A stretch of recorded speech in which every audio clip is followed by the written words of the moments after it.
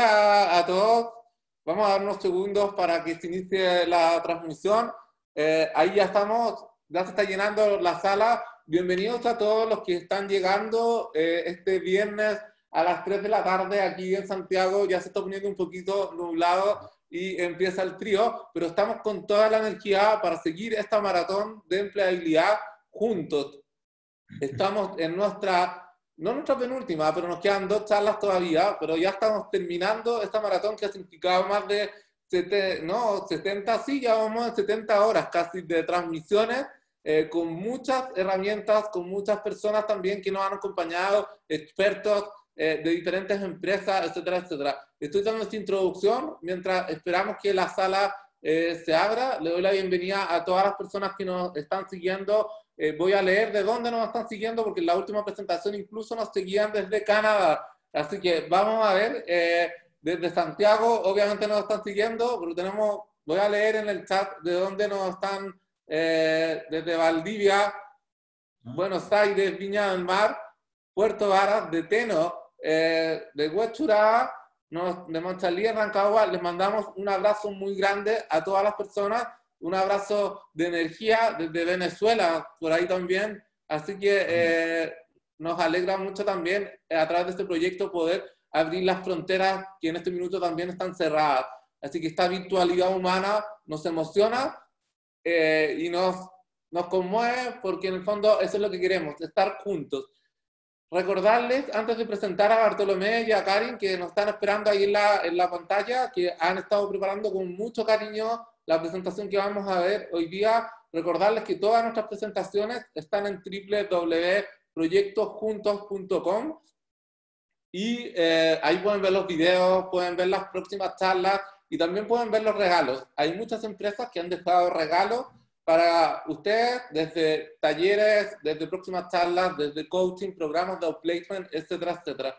Y finalmente, mi última pregunta, ya me sé el speech, el, el speech entero, pero para que no se me vaya nada, ustedes ya saben las preguntas y respuestas, por favor dejarlas en el módulo de preguntas y respuestas y no ocupar el chat para las preguntas, para que eh, podamos después con Karin y con los invitados, con Bartolomé, ir respondiendo las preguntas eh, lo más eh, rápido posible. Vamos a ver la posibilidad de activar algunas pantallas, así que les sugiero que se preparen para eh, salir en vivo en este programa, eh, porque va a estar, vamos a tener una conversación muy interesante sobre emprendimiento. Entonces, ahora Bartolomé, me tienes que eh, disculpar porque en el chat te comenté que tenemos que pasar un video. Voy a ver si ahora funciona, pero un video de un minuto. vamos a ver si en este minuto va a funcionar esta historia, porque obviamente yo aquí como director técnico, al único que no le funcionan los videos es a mí. Entonces, no me quiero quedar con esta sensación, así que voy a probar de aquí a la charla al final para ver si el, el, el video funciona. Espérame un minuto.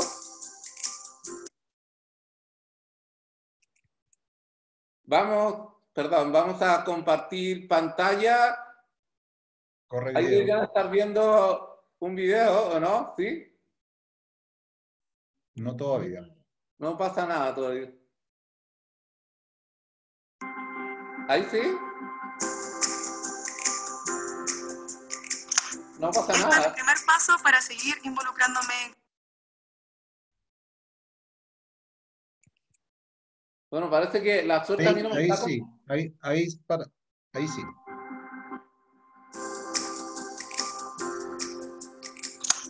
Esto es mi primer paso para seguir involucrándome en causas sociales. Eh, comprendí comprender la situación, la real situación de lo que es una persona en la calle.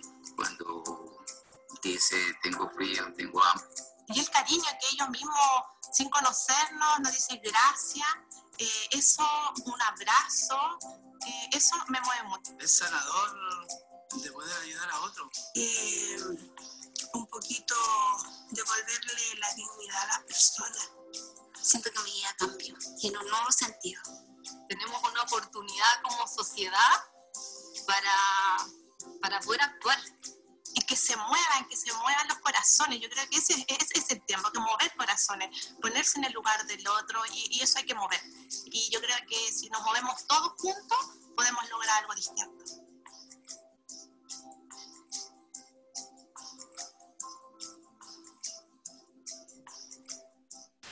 Pues ahora creo que se vio mi video, así que aplausos para la producción técnica, dejar los invitados a todos mañana al Festival Social Juntos, eh, Movidos por Chile. Eh, respiran el mismo propósito que nosotros de juntar todas las causas posibles y de que cada uno desde su acción personal eh, pueda colaborar con el otro. No necesitamos eh, esperar a un gobierno que está quizás haciendo todo lo posible o lo no posible, pero no necesitamos esperar a las empresas. Cada uno de nosotros puede hacer una acción eh, personal para ayudar a los otros. Así que los invito a inscribirse en Movidos por Chile y los que no puedan donar pueden compartir la causa para que otras personas se enteren. Y ahora sí, llegó el momento de la verdad para eh, Beckham Partners. Eh, los quiero presentar. Eh, ellos también van a contar un poco su historia, pero son parte de nuestro equipo de juntos, eh, consultora muy reconocida en temas de eh, acompañamiento, liderazgo, también de acompañar a personas en transición laboral. Ahí Bartolomé y Karin les va a contar un poco más sobre su historia, pero vamos también a hablar sobre, vamos a seguir hablando sobre emprendimiento de mano de emprendedores. Así que eh, bienvenidos a todas las charlas. Y ahora sí que los dejo con Bartolomé y con Karim. Muchas gracias por acompañarnos en esta cruzada. Gracias, Tomás. Y efectivamente estamos aquí en un doble rol. Eh, estamos como Deck Partners, eh, Outplacement y Headhunting. ¿ah? Pero antes que eso estamos como familia, como familia que emprendió hace un poco más de ocho años, producto de eh, buscar una alternativa para el segundo tiempo de, vida laboral, ¿ya? Eh, tenemos seis niños, por lo tanto significaba eso que hay que extender la vida útil bastante. Eso implicó que eh, yo el 2012 me quedé sin trabajo, la Karin no estaba trabajando en ese minuto, pero ella sí había trabajado en headhunting mucho tiempo, ¿ya? Y decidimos armar esta oficina, esta empresa, en la cual ya llevamos ocho años, gracias a Dios le hemos puesto mucho corazón, mucho empeño eh, y muy apoyado en la fe también, eh, que eh, nos ha ido dando resultados. Así que los voy a dejar con la Karin, mi señora y socia, ¿ah? Para que también les dé una bienvenida y después también contarles un poco de, lo que significa emprender y, la presentación oficial.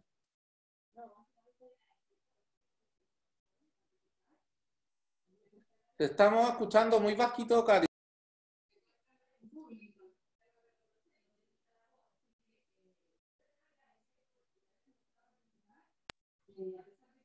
Karin, lamentablemente no te escuchamos. No sé si puedes hablar cerca del micrófono de Bartolomé porque...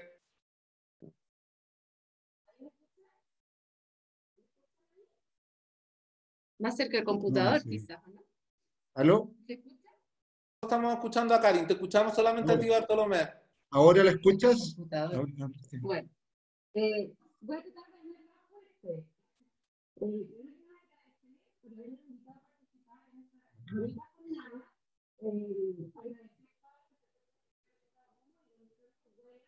Karin, lamentablemente que no te, no te estamos entendiendo nada porque se escucha muy bajo. Eh, no sé qué podemos hacer, si el micrófono está al otro lado. Sí, a ver, ¿cómo se escucha ahora? A, ti te escuchamos bien, Bartolomé, pero a Karin no lo escuchamos. ¿Y si me pongo acá? ¿Me escuchas mejor? ¿Ves? El computador. Eh, bueno, en el fondo quiero agradecer, voy a hablar así, eh, por habernos invitado. Eh, los quiero felicitar porque todas las charlas han estado maravillosas. efectivamente, como dijo Bartolomé, este es un emprendimiento familiar. los dos somos ingenieros comerciales. Bartolomé trabajó mucho, mucho tiempo de su, de su, carrera laboral en cargos ejecutivos. Yo trabajé también en, en muchos años, llevo trabajando en hunting. Y bueno, este emprendimiento eh, ha, salido, ha salido como, ha tenido muchos frutos. Tenemos un equipo detrás que nos acompaña de profesionales, psicólogos, ingenieros, eh, y estamos muy contentos de poder aportar o ser un granito de arena eh, para todas las personas que hoy día están en periodos difíciles, ya sea sin trabajo o con, con, con, o sea, con opciones de emprender. Y el tema que nos tocó hoy día justamente es hablar sobre emprendimiento. Así que los quiero dejar con eh, Bartolomé y con Jorge Herrera, que nos van a acompañar eh, y que nos van a hacer una presentación al respecto. Muchas gracias. Nuestro próximo, o sea, nuestro invitado estelar de hoy día es eh, Jorge Herrera, Jorge es, él es ingeniero comercial MBA de Harvard y profesor de emprendimiento en la Universidad Católica hace ya más de 25 años. Casi 30. Casi 30 años. ¿ah? Eh, yo no sé, Tomás, si se escucha bien. Estamos escuchando súper bien, lo que sí que me temo que tienen el micrófono focalizado en el computador, entonces no sé si eh, a tu invitado lo vamos a escuchar. Pero, pero sigan adelante porque se escucha, se escucha bastante bien.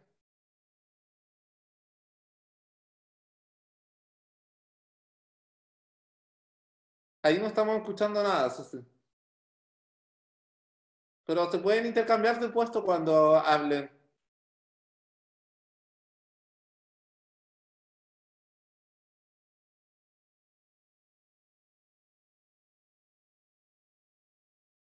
Eh, no te escuchamos nada, Bartolomé.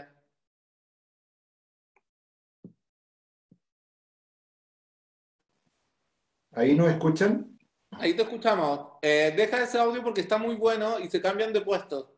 Ya, eso es lo mejor. Oye, eh, ya, la idea es, como, como comentamos, vamos a tener un, una, una, primera presentación que tiene que ver con, vamos a ir desde lo, desde lo más simple, es decir, eh, vamos a ver un pequeño video en el cual nos muestra alguna simplicidad de lo que significa estar en tiempos de, de cambio y de crisis. Eh, vamos a hacer algunos ejemplos en forma simple de lo que vemos hoy día en el mercado de los emprendedores. Y vamos a avanzar después con Jorge que nos dé desde el punto de vista académico un buen barniz de qué es lo que significa emprender, cuáles son los tópicos principales. Y sobre todo porque cuando uno emprende muchas veces eh, uno lee historia para atrás de emprendimiento y dice, pucha, eso me pasó a mí, eso sentí yo. Entonces es una tremenda oportunidad eh, que Jorge nos explique también, porque él hizo un libro que nos va a comentar ahora, y su libro lo que hace es tomar el, ejemplo de muchos emprendedores. Entonces logró bajar a ese libro todos los pasos de emprendimientos eh, desde cero. Yo voy a compartir ahora la presentación que tenemos. No sé si se empieza a ver ya.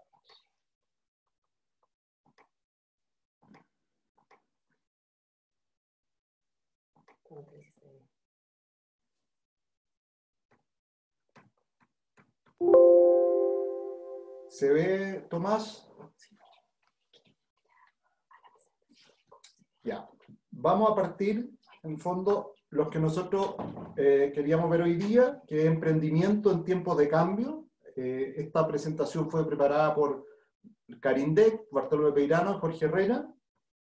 Vamos a hacer tres etapas. La primera es eh, ¿dónde me identifico más yo como emprendedor? Y esto es un video muy sencillo para bajarnos un poco a la tierra eh, sobre todo además un día viernes a las, a las 3 de la tarde, para que no se me queden dormidos todos. Después vamos a ver un, un, siempre hay un espacio para emprender, en el cual nosotros tratamos de mostrar eh, muy, muy lúdicamente que sí tenemos oportunidad independiente de, la edad, independiente de la carrera, independiente de nuestra creatividad. Y en tercera etapa, como les dije, Jorge nos va a mostrar desde su libro Emprendimiento las formas o las, desde el punto de vista académico, cómo articular las oportunidades. Espero que todos o, gran mayoría hayan visto esta película. La verdad es que yo la vi con, con mis niños y, y, aprendí mucho más probablemente yo que ellos. Eh, así que eso me, siempre la tengo en mis presentaciones. Me encantan estos, estos pajaritos.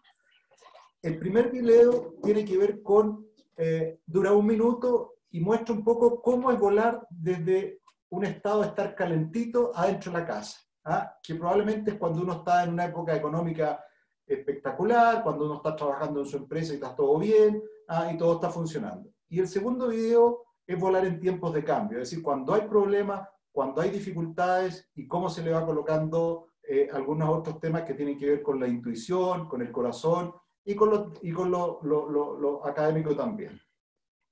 Corre video. Instintos naturales. Ser lanzado al aire en una habitación no tiene nada de natural. Pero ya verá. Puedo hacer esto. Solo tengo que hacer los cálculos. Ya tengo mis ángulos vectoriales. Ya tomé en cuenta el viento. Refuerzo positivo. Bien. Ok. Veamos. ¿Abrir alas? Perfecto. ¿Tren de aterrizaje? Listo. ¿Alerones? Funcionando. Y, de hecho, ¿no está mal? Llegó la hora. A volar. Esto es muy simple. Empuje, despegue, resistencia y peso. Empuje, despegue, resistencia, peso. Empuje, despegue, resistencia, peso. Empuje, despegue, resistencia. ¡No puedo! ¿Blue?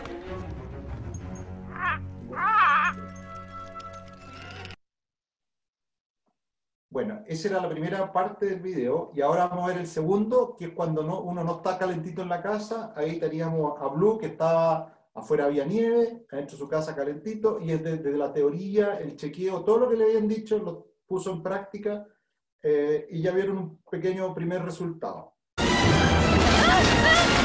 haciendo? No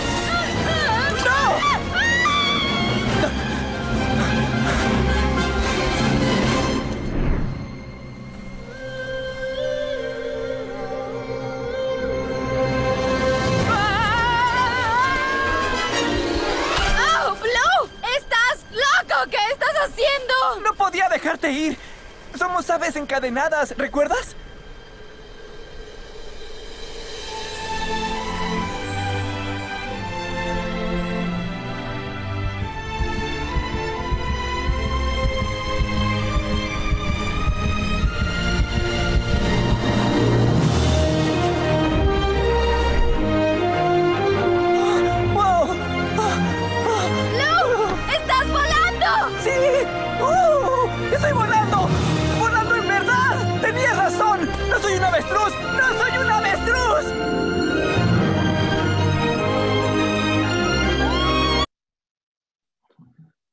Bueno, eso era un poco para ver que en el fondo cuando estamos en tiempos difíciles, en tiempos de cambio, en tiempos de crisis, siempre hay una oportunidad, porque lo que vimos en el primer video tiene que ver mucho con el cerebro, ya con la teoría, pero lo que vimos en el segundo tiene que ver con el cerebro, con la intuición, con el tratar de arriesgarse y con la necesidad. Ahí hay una necesidad imperiosa de volar este pajarito que no sabía o creía que no sabía para partir la presentación, eh, lo que queremos de alguna forma es definir qué es lo que es emprendimiento y buscamos un, dentro, de la bibliografía algo que nos, nos representara nosotros, lo que hicimos nosotros, y ahí sale que el origen etimológico de la palabra deriva en entreprender, que es francés, ¿ya? Pero emprender es el proceso de descubrir nuevas formas de combinar los recursos para generar valor.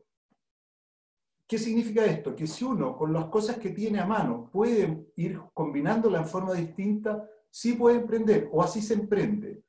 Inventar algo no significa necesariamente emprender. Hay mucha gente que inventa algo y nunca emprendió.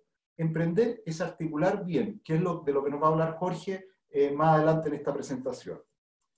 Lo primero, ahora vamos a ver este espacio que todos tenemos para emprender desde nuestras casas incluso. Ya escuchamos hace un rato a los los chasquis, que yo lo encontré fenomenal, cómo empalmaron todo ¿ah? su, emprendimiento y partieron de cero, y partieron sin saber mucho, solamente con un corazón y lo que les gustaba, la bicicleta.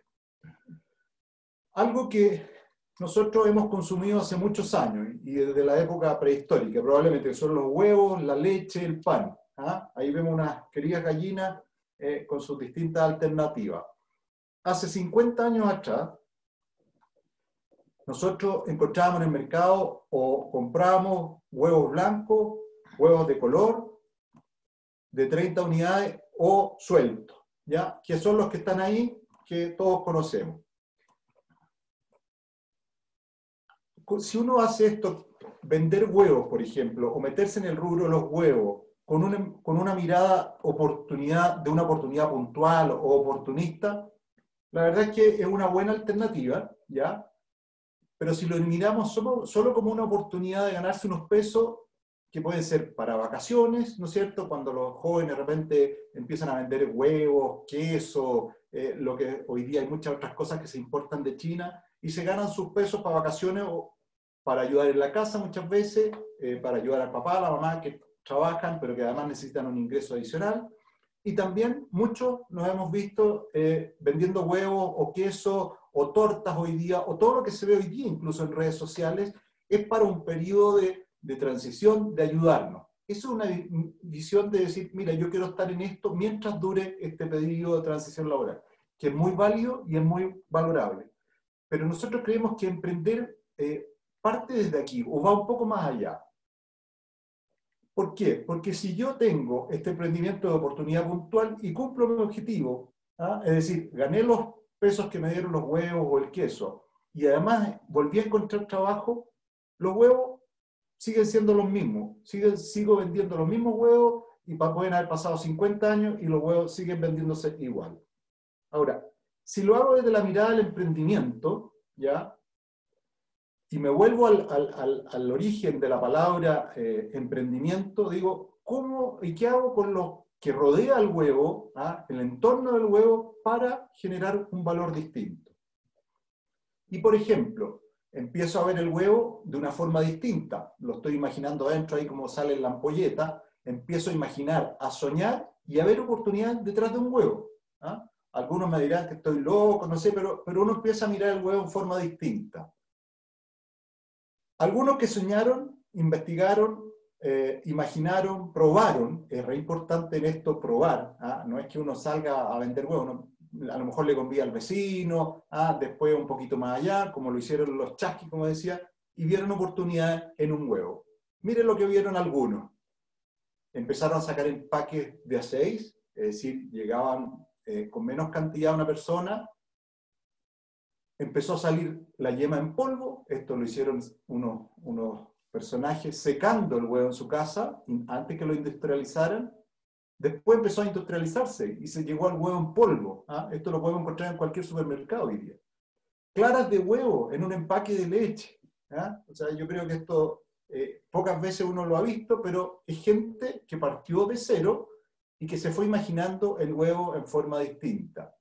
Imagínense que hoy día hay huevos de gallina feliz. O sea, alguien también pensó que si trabajaba la gallina y la hacía más feliz, viviendo más tranquila, a lo mejor la gallina, comiendo cosas mejores, comiendo, cosas más ricas, los huevos van a ser distintos. Hoy día hay cáscaras de huevo fertilizantes. ¿ah? Aquí en mi casa, la Karin, todas las cáscaras de huevo hoy día las seca y se las echa a las plantas, las hierve un rato. ¿ah? Y por último, miren este último emprendimiento, eh, huevos fritos envasados. O sea, alguien está pensando que el huevo es mucho más allá que venderlo en una unidad o en una caja de 30. Y puede ser blanco o de color. ¿Y qué pasa si hoy, por ejemplo, y esto se las voy a dejar a ustedes, te llega un regalo con seis huevos de campo, sin aditivo, de gallina feliz, en vez de un chocolate, en vez de llegar con una botella de vino, huevos realmente eh, de campo. ¿ah? Yo lo encuentro genial, a mí me encantaría que me llegara un regalo así, o yo llevar. Entonces, aquí hay un emprendimiento, y esto debo reconocer que se me ocurrió media hora antes de la presentación, porque está ahí la oportunidad. ¿ah? Nadie se hubiera imaginado, o por lo menos yo no hubiera imaginado regalar huevos cuando uno va a comer a una casa o a unos amigos. ¿Qué tengo que hacer yo? Ir a comprar los huevos, comprar dos bandejas, a lo mejor comprar unas cajitas en Avenida Mata, ya poner una cinta y venderla. Y a lo mejor compro seis huevos, en, está 200 pesos cada huevo, son 1200 más la cajita, ya 2000 pesos. Y, y, lo, y, lo, vendo, y las gallinas obviamente tienen que estar felices, se compran huevos de campo, ah, se encargan a algún amigo, o los emprendedores que están vendiendo hoy día huevos, ¿ya? Y yo compro a lo mejor o vendo en 3, 4 mil pesos un regalo que a mi juicio es más eh, eh, entretenido incluso que un chocolate. ¿Cuántos recursos necesitaba para hacer este emprendimiento? ¿Gran capital? Yo creo que no, estamos hablando de 2 mil pesos. La edad, puedo tener 18 años, puedo tener 70 años y el, el proyecto funciona igual. Tengo que ser ingeniero para esto, a lo mejor sí, a lo mejor no. Que tener pitutos para este emprendimiento, como hemos visto en todas las charlas, que el pituto. No, estos somos nosotros. ¿ya? Ahora, lo que yo sí recomiendo, y lo vimos en los pajaritos, lo vemos en, el regalo, ¿ah? yo mismo lo demuestro, que hay que tener cerebro, hay que pensar las cosas, uno no sale a tonta y a loca, el cerebro, hay que ponerle corazón. Blue, el pajarito este, le puso corazón. Yo cuando vi este tema de los regalos de huevo, también le estoy poniendo corazón porque encuentro muy bonito. Y para mí es muy importante también el estómago, la intuición. Aquí no hemos olvidado en esta sociedad porque queremos saberlo todo y queremos verlo todo en Google o en un, libro, que la intuición es súper importante. Ayudemos en nuestros niños también a que desarrollen la intuición. Estos tres componentes nos ayudan a poder empezar a pensar en un emprendimiento y en llegar, en el fondo, con prueba y error, a avanzar. Eso es más o menos desde el punto de vista de emprendedor, de intuición que hago yo, de, ejemplos reales y que significan emprender y no necesariamente inventar. Los voy a dejar ahora con, con mi amigo Jorge, que nos va, va a hablar de articular oportunidades desde el punto de vista eh, académico ya. Adelante, Jorge. Vamos, a cambiarnos por, por el micrófono. Gracias, Bartolo. Hola, ¿cómo están? Muy buenas tardes a todos. Eh, esta imagen que, que, les ponemos acá es eh, más o menos conocida. Nosotros normalmente hemos escuchado esta historia de David y Goliat en la Biblia o en las Sagradas Escrituras, pero la verdad es que hay racontos históricos. Esta es una historia de hace 3.000 años, en donde el pueblo israelí, ¿no es cierto?, la antigua Palestina, dominaba una cierta parte hasta un valle que se llama el Valle de Sheflón, y que los, eh, los filisteos, que originalmente eran de Creta, querían tomarse porque era un valle estratégicamente eh, muy importante, tenía una capacidad de, de, entrar hacia distintos lugares, digamos, de, de, esa parte, y segundo porque además era muy frondoso y muy verde. El punto es que ambos ejércitos se encontraron y se encontraron en las peores de las condiciones, no estaban ninguno de ambos en eh, la mejor situación para atacar. Por lo tanto, estuvieron mirándose durante semanas y hasta meses, hasta que apareció este gran eh, guerrero, que era un gigantón de casi dos metros, ¿no es cierto?, con armadura, con escudo, etcétera, etcétera, y empezó a gritar, tráiganme al mejor de vuestros guerreros, a los israelitas, para que podamos ponerle fin a esta historia y aparece, nadie quería salir, porque imagínate que están loco, digamos, para enfrentar a este gigante, y aparece David. El punto es que el, jefe, ¿no es cierto?, Saúl, que estaba a cargo del ejército, el general, ¿ah? eh, le dice, te volviste loco, ¿cómo vas a ir eh, tú si eres bajito? Eh, no, no, tienes las condiciones para enfrentarlo. por lo menos ponte una armadura, ¿no? por ningún motivo me voy a poner una armadura, nunca la he utilizado. Finalmente baja David, porque él estaba justo en una planicie que tenía que bajar, y solamente con su onda le manda un ondazo ahí en la mitad de cada uno de los ojos, en la mitad de la frente, eh, aturde a Goliat, le corta la cabeza y el resto de la historia lo conocemos. Ahora, ¿cuál es la moraleja? Eh, uno siempre piensa que esto es una historia que eh, hay un milagro detrás. Probablemente, a lo mejor, hubo alguna ayuda divina. Pero históricamente uno puede sacar ciertas conclusiones porque tampoco tan milagroso. Primero, este caballero, el David, era un hondero, era un pastor, y lo que hacía con su onda era defender a su rebaño eh, de las ovejas, de los, perdón, de los lobos, de los leones, etcétera, para proteger a sus ovejas. Y eh, era seco para tirar la onda. Y no estamos hablando de una onda de juguete como las que conocemos, estas típicas, ¿no es cierto? Sino que es una onda de alta velocidad y un arma muy dañina, eh, que incluso se ha comparado, si tú le tiras un pedrusco a una determinada eh, distancia, que es más o menos lo que se estima que le estaba del, del gigante, que puede ser equivalente a un revólver de calibre 45. Y la segunda conclusión es que el gigante Goliat Confiaba en todas sus aptitudes, pero que eran aptitudes que no le sirvieron de nada, porque él lo que estaba esperando era tener una pelea frente a frente, cuerpo a cuerpo, cosa que David evitó. Entonces el corolario, y por eso quería, eh, queríamos mostrarle, ¿no cierto?, esta historia, para darnos todos eh, esperanza. Los gigantes y los grandes siempre van a existir, están en todos lados. Sin embargo, eh, en sus fortalezas también radican sus debilidades. Y si uno lo piensa, eh, aquí tenemos a dos chiquititos que, por lo menos el de la izquierda, sabemos que eh, hizo tambalear al imperio británico y finalmente terminó con el imperio británico saliendo, ¿no es cierto?, de India, de Pakistán, etc. Eh, con herramientas que los ingleses del imperio eh, británico no conocían, no sabía y no usaba. Notco es una compañía chilena que probablemente ustedes conocen, parte, ¿no es cierto?, fabricando una mayonesa eh, a, partir de ingredientes vegetales y se posiciona como el David en contra de estos grandes Goliath. ¿ah? Em, y lo que está haciendo como un pequeño es ir de a poco encontrando un elemento para luchar bajo sus propias condiciones frente a las grandes compañías. ¿Por qué las grandes compañías no responden? Es una muy buena pregunta. Muy probablemente parecido a lo que pasó con Goliath. No responden porque sus recursos y, las cosas que saben hacer están concentradas en eh, compromisos como por ejemplo una armadura. En el caso de, acuérdense de Blockbuster, Blockbuster no respondió a la amenaza, ¿no es de Netflix, porque toda su inversión y todos sus compromisos estaba en los locales. Entonces es muy difícil responder en esas circunstancias. Probablemente hay muchas otras, se quedaron dormidos en los laureles, ustedes podrán encontrar muchas.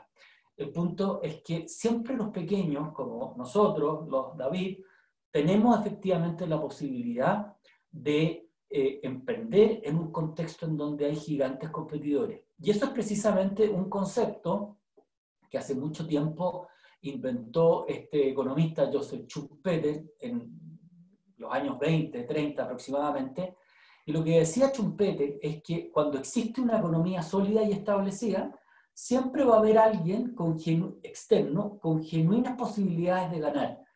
Y él le llama a, este proceso la destrucción creativa, creative destruction. Y lo que él dice, no hay manera de que las economías evolucionen si no es con la acción valiente y jugada, ¿no es cierto?, de los emprendedores que traen algo nuevo, una nueva forma de, ya sea eh, empaquetar el huevo, como hablaba eh, Bartolo, o eh, encontrar un nicho de mercado que permita, en vez de enfrentar, ¿no es cierto?, esta gran estructura, imagínense ustedes que esto es una ciudad que está rodeada por, por, una muralla, en vez de enfrentarla haciendo un sitio que es muy caro, yo la enfrento de una manera inteligente, por una puerta trasera, por un lugar en donde el grande simplemente no le interesa responder porque considera que no es relevante todavía. Y eso no da tiempo para poder competir exitosamente.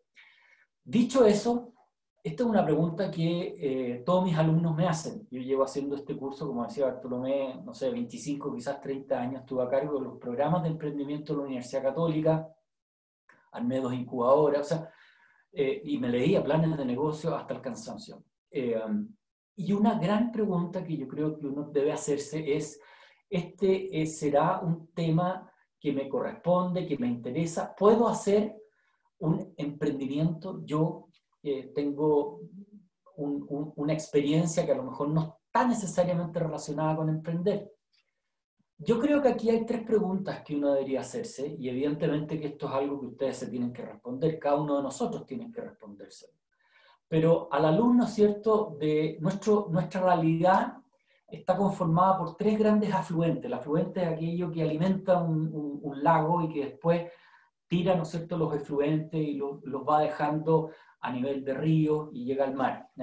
Pero nosotros nos vemos alimentados por nuestra alma o corazón, ponle como queráis, en el fondo es nuestra identidad, el ADN, nuestros valores, nuestros principios, lo que nos enseñaron los papás, mi familia, eh, mis anhelos, mis sueños, aquellas cosas que me encantaría hacer algún día, Segundo, por el tiempo, lo que está ocurriendo hoy día. Eh, ¿En qué ciclo profesional me encuentro? Normalmente uno observa que cada siete años los ejecutivos tienden como a eh, cambiarse de trabajo. Eso en el mundo ex millennial, porque los millennials tienen una tasa de rotación un poquito más alta. Eh, en una de esas también estoy llegando, ¿no es cierto?, a la edad de jubilación y mi jubilación hoy día, mi pensión, no me va a dar para tener eh, el mismo nivel de calidad de vida que yo tenía antes cuando estaba trabajando, necesito complementarme. Bueno, esas son cosas que el tiempo eh, nos toca a cada uno de acuerdo a una circunstancia particular. Tengo salud, existe una nueva tecnología, cuál es el contexto económico, lo que estamos viviendo hoy día con, con el famoso COVID, ¿no es cierto?, etcétera. Y en tercer lugar, el ser, es decir, mis competencias, mis capacidades, mi educación, eh, mi experiencia, eh, aquellas cosas en las cuales creo, eh, estos son, nuevamente se mezcla un poco con los valores. Bueno, hay tres preguntas que uno creo debería hacerse y dejarlas claras. La primera, probablemente ustedes ya la, la han escuchado a lo largo de las charlas de estos días, que han estado buenísimas, la mezcla entre el punto 1 y el punto 3, es decir, alma y ser, aquello que me encanta y aquello que yo sé hacer muy bien. Eh, eso es lo que uno conoce como las habilidades satisfactorias. No es lo que yo sé hacer necesariamente. Yo puedo ser especialista en echar gente, por ejemplo, eh, pero a lo mejor claramente no me produce ninguna satisfacción. Eh, no me gusta hacerlo. Y sin embargo, hay cosas que, que yo sé hacer muy bien y que sí me producen mucha satisfacción. Apoyar a las personas, eh, el cuento del medio ambiente, eh, está relacionado, ¿no es cierto?, con fundaciones eh, que no tienen fines de lucro, etc. Entre el ser y el tiempo, yo puedo responder, bueno, hoy día, en este momento, este contexto, ¿qué necesita de mí? ¿Cuál va a ser ese legado que yo voy a dejar? Yo siempre lo recomiendo a los alumnos que muchas veces vienen a conversar y me dicen, me quiero cambiar de pega, profe, ¿qué es lo que hago? Mira, puede ser. El punto es que intentes en lo posible no cambiarte de pega si no has dejado algo en la pega actual, si no has tenido un, un legado, algo que el día de mañana pueda recordar eh, que tú fuiste el que lo lideraste. Porque el mundo es muy redondo y, las vueltas de la vida uno nunca las conoce y es importante ir dejando una historia en el currículum. Bueno, esto es una pregunta futuro. ¿Cuál es el legado que yo quiero dejar? Y entre el alma y el tiempo eh, es la capacidad de seguir aprendiendo. ¿Cómo debo seguir aprendiendo? ¿Qué cosas debo seguir aprendiendo? Puede que a mí me encante, por ejemplo, trabajar la madera, pero de ahí hacer muebles eh, y profesionalmente venderlos, o por ejemplo, eh, hacer pizza. A mí me encanta hacer pizza, personalmente, me gusta cocinar pero de ahí a poner una pizzería, hay cosas que yo tengo que mejorar, cosas que tengo que aprender. ¿Cuáles son esas cosas que tengo que aprender? ¿Y cómo puedo aprenderlas? Entonces, es ahí, perdón, es ahí donde uno eh, puede tomar estos elementos y empezar a entenderme. Por eso es que yo siempre planteo que el emprendimiento, al igual como muchas otras cosas en la vida, los cambios de comportamiento, los cambios de hábito, etcétera, nacen desde adentro hacia afuera. No es que a mí, eh, yo fui pasando, ¿no es cierto?, y me encontré con la oportunidad del e-commerce. Bien, eso sí es una oportunidad, pero es algo que sé hacer, es algo que me gusta, creo que puedo dejar un legado ahí. ¿Qué es lo que tendría que aprender a raíz de eso? primero parto por mí mismo y después empiezo a entender qué circunstancias o cómo articular esta oportunidad, que es lo que les voy a contar a continuación. Pues aquí la gran pregunta es, bueno, tú, yo, Jorge, Bartolomé, etcétera, ¿qué es lo que tenés que decirle tú al mundo? Y todos tenemos algo que decirle porque todos somos personas distintas. La mayoría de nosotros, como somos en el fondo diferentes, tenemos nuestras propias ideas. Y eso ya es una diferencia. Tú tienes tus ideas, tú piensas de una manera. Eh, no se trata de hacer que, que tú avances, sino que tus ideas avancen. Para transformarse en alguien reconocido, en experto, tienes que ser reconocido por tus ideas. ¿Cuáles son tus ideas y cómo las, vas, cómo las puedes dar a conocer? ¿Mm? Eh, yo en el libro, eh, el libro se llama Impacto Emprendedor, después la mostrar la portada, no va vender ni, ni hacer publicidad, pero es que a lo mejor el día de mañana les puede servir, se puede comprar incluso también por internet. Pero bueno, si ustedes se fijan, eh, lo que yo estoy planteando acá es que la fuerza emprendedora que está aquí, eso que ustedes le van a poner, las ganas que le van a poner para sacar adelante el negocio, eh, está primero, ¿no es cierto?, condicionado al tipo de negocio que yo quiero armar, a cuáles son esos eh, esas realidades eh, esos afluentes de realidad, cuáles son las necesidades y bueno, la actitud, no los voy a latear con esto, pero eh, es precisamente la fuerza emprendedora la que le da la impronta al negocio y la que le da la forma al modelo sobre el cual tú vas a trabajar. En otras palabras, y para ser simple, porque no lo voy a latear con esto, es que todos podemos emprender. La, la, respuesta es sí. La respuesta simple, sí. Yo estoy convencido y no hay ningún estudio, ninguno, que demuestre que solamente algunas personas pueden ser empresarios. Ninguno. Todos podemos emprender. El punto, y también está demostrado, es que no todos podemos llevar a cabo cualquier tipo de proyecto.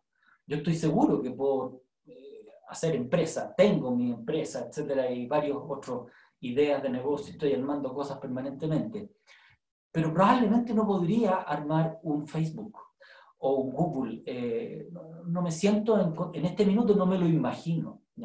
Eh, nuevamente, aquí la gracia está en elegir el proyecto correcto para ti de acuerdo a tus habilidades satisfactorias, aquello que te gusta hacer bien, el legado que tú quieres dejar y las cosas que sabes o que necesitas seguir desarrollando. Ahora, creo que vale la pena hacer una, una distinción. Existe una diferencia entre ideas y oportunidades. La idea las tenemos todos, todos tenemos ideas, pero transformar una idea en una oportunidad de negocio es una cosa muy diferente. Me robaron la idea, no te robaron nada, compadre, nada.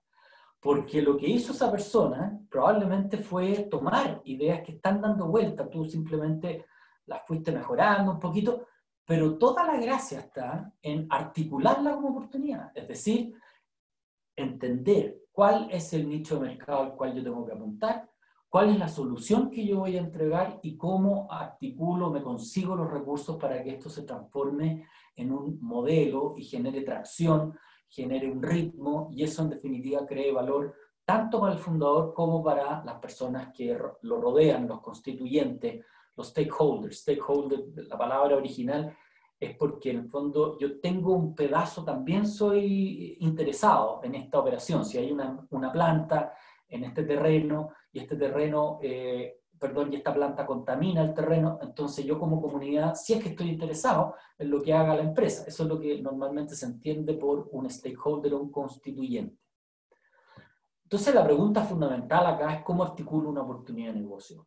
Eh, nosotros al principio poníamos el ejemplo del huevo, ¿no es cierto? Bueno, no a todo el mundo le gusta eh, el huevo en polvo. O sea, eh, van a haber circunstancias van a haber ocasiones, va a haber un segmento de mercado que sí le va a hacer sentido y que necesita este tipo de producto, a lo mejor el que va, ¿no es cierto?, a la nieve, o el que va de paseo, o eh, cuando tú vas de camping, en fin.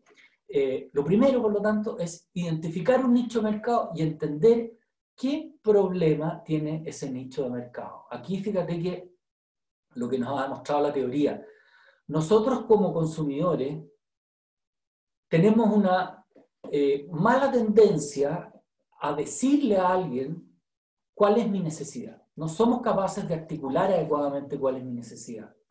Es como que yo te diga, o es como que llegue Steve Jobs, ¿no es cierto?, y te diga, ¿qué es lo que necesita? Yo le digo, ah, yo necesito un iPod o necesito un iPhone. El consumidor no dice eso. Pero es mucho más fácil cuando tú le preguntas qué problema tienes, cuál es tu dolor, eh, qué en definitiva, es la base para poder proponer una solución. Y eso es lo que la propuesta de en definitiva, es cómo articulo un producto, un servicio, una combinación que permita solucionar ese problema. Y finalmente, cómo descubro los recursos, cómo me los consigo los recursos y cómo los organizo de manera que esta rueda siga girando. Respecto al nicho mercado, como decía, observar una necesidad o un problema eh, yo les hago la pregunta, aquí hay cuatro compañías chilenas que en el año 2018 obtuvieron por parte de inversionistas profesionales UPlanner 5 millones de dólares, Joycar 3 millones de dólares, The Not Company, lo que yo les mostraba, 3 millones de dólares, Triciclo 2,7 millones de dólares. ¿Por qué? ¿Qué es lo que fue que hubo que efectivamente convencieron a un inversionista a poner esta plata sin, esto no es un préstamo, esto es un inversionista que pone la plata y que termina siendo socio tuyo, lo cual puede ser muy bueno, pero también muy malo, entre paréntesis. No, no, no, vamos, no tenemos tiempo para discutirlo, pero lo importante acá es qué es lo que les llamó la atención a alguien que está dedicado a eh, invertir en nuevos negocios. En todos los casos, probablemente los emprendedores y la fuerza emprendedora de quien es el dueño de la idea y el que está detrás es muy importante. Pero eh, conversando en línea, ¿no es cierto?, con lo que yo les estoy comentando de cómo articular la oportunidad, lo que más llama la atención acá es el nicho que eligieron. YouPlanner genera soluciones tecnológicas con inteligencia artificial en educación superior. Esto ya existe, las soluciones tecnológicas la inteligencia artificial hace mucho tiempo. La gracia, ¿no es cierto?, de Juan Pablo Mena, que es el fundador o el cofundador, es haber articulado esta solución específicamente para la educación superior. Lo mismo Joycar, sistemas con GPS que permiten entender, ¿no es cierto?, los riesgos en la conducción, algo que le interesa mucho a las compañías aseguradoras. Eh, de Notco ya sabemos lo que está haciendo. Eh, probablemente había mucha eh, información y también existía una mayonesa, de hecho uno de los socios originales, digamos, de, de es Matías Muntnik, Después se separaron y efectivamente él formó esta compañía que hoy día conocemos. O sea, ya los ingredientes vegetales estaban, pero ¿cómo hace para eh, descubrir una nomenclatura a través de la inteligencia artificial en un tipo de productos alimenticios? Otro nicho, triciclo, lo que hace es gestionar la economía circular en el nicho dedicado a los al reciclaje. Entonces, eh, todos los negocios prometedores, uno se da cuenta que lo que hace la diferencia es el nicho, no tanto el producto. Eh, es muy bueno haber descubierto, te, invento, no sé, la cura del cáncer. Fantástico, probablemente te vaya a llenar de plata. Pero más importante que haber descubierto la solución es entender a quién esa solución le va a hacer sentido. Por eso es que normalmente este tipo de negocio, aquellos que más crecen, son conceptos fácilmente copiables y de hecho muy obvios para ser patentados, incluso visibles, demasiado visibles para ser protegidos como secretos. Nuevamente, la idea es menos relevante que cómo lo articuláis. Y la articulación pasa por el nicho. La gracia es que lo hacen mejor en un nicho mercado nuevo, no explorado o mal explorado, eh, de manera de modificar y adaptar una idea que eh, existía ya. Piensen ustedes, porque existe Guayacán, Guayacán es una cerveza artesanal del Valle del Elqui. Bueno, el nicho está ahí. Es una cerveza exótica que se vende en todo Chile, no en todo Chile exactamente, pero una gran parte de nuestro territorio nacional y que está destinada a ese mercado y que tiene además la esencia de ese mercado. Ahí hay una diferencia. El nicho le puso una diferencia. Corner Shop le ha ido espectacular, esta es una gran compañía ya no es un emprendimiento, pero partió como tal partió con poco capital y el nicho original de Corner Shop es para aquellas personas que no quieren salir de la casa, hoy día para los que no pueden. O sea, le pegó muy bien. Fue, eso fue suerte, te fijas, uno también tiene que confiar en que la suerte a uno también lo impacta. ¿ya? Baby Tuto es una compañía de e-commerce que vende todo para el bebé. ¿Qué nicho más claro? O sea, todo lo que yo necesito para mi guagua. Ahora, mi recomendación siempre es focalizarse en segmentos especializados, pero sobre todo en, segmentos pequeños, en segmentos de mercado pequeño. ¿Por qué? Porque es mucho más fácil entender las necesidades de los clientes y por lo tanto te da foco. Tú más rápidamente te puedes transformar en líder. Es más fácil tener el 10% de un mercado chiquitito que el 10% de una tremenda masa, ¿no es cierto?, de consumidores, porque ahí están los grandes. Nuevamente, no te vayáis a la pelea con Goliat en la mitad de la batalla. Enfréntalo solo y enfréntalo a una distancia con una onda para que tú puedas liderar. Evidentemente que requiere menos capital inicial, es más chico y por lo mismo el uso de los recursos de marketing también es menor y es más eficiente. Eh, como decía, no interesa a los grandes, probablemente vas a encontrarte con competidores, pero son competidores pequeños, como tú. Y si el segmento es nuevo, o por lo menos en un segmento en donde el servicio, ¿no es cierto?, es muy distintivo y es diferente, hay mayores probabilidades de que tú puedas cometer errores. Eh, más que mayores probabilidades, perdón, es los clientes te van a dejar más margen de error, porque no, no te van a comparar con muchos otros, por lo tanto tienes más posibilidades de cometer errores. Lo segundo, una propuesta de valor La propuesta de valor es una solución, que puede ser un servicio, un producto o una combina. Eh, estamos llenos de problemas, llenos de problemas. O sea, yo aquí estoy planteando algunos. Probablemente durante estos días van a surgir otros problemas. Eh, esta es una encuesta que salió hace muy poquito, ¿no es cierto?, en eh, la BBC, y lo, perdón, la CNBC, y lo que hace es preguntarle a los gerentes generales en las compañías, estamos hablando de más de mil compañías, y les preguntaron eh, qué es lo que más les preocupa al gerente hoy día en esta, en esta circunstancia en donde tenemos una pandemia y tenemos restricciones para movernos, etcétera, etcétera. Hay varias cosas, pero todas apuntan a una sola, más clientes. El día que alguien sepa hacer esto bien y solucione la falta de consumidores, la falta de clientes, el acceso a más clientes, tiene una tremenda oportunidad. Y esa es una gran definición de oportunidad. Mientras más grande el problema, mayor es la oportunidad. Nadie nos va a pagar por solucionar un problema inexistente. Las compañías existen para resolver problemas. ¿Cuál es el problema que resuelve esta empresa o que va a resolver mi emprendimiento? Eh, por eso es que a la luz y enfrentando, ¿no es cierto?, tantos problemas que hay en el mundo, el gran llamado que nosotros les hacemos, con Karin, Bartolomé y yo, es que no hay que paniquearse. O sea, esto es un, es un momento en donde precisamente hay más oportunidades, porque hay momentos que eh, los vamos a reconocer históricamente como momentos de cambio. Este es uno de ellos, definitivamente. Cada problema, por lo tanto, es una oportunidad, cada crisis es una oportunidad, cada cliente choreado es una oportunidad, un no cliente, una falta de cliente es una oportunidad, un cambio de contexto, cada imposible es una oportunidad.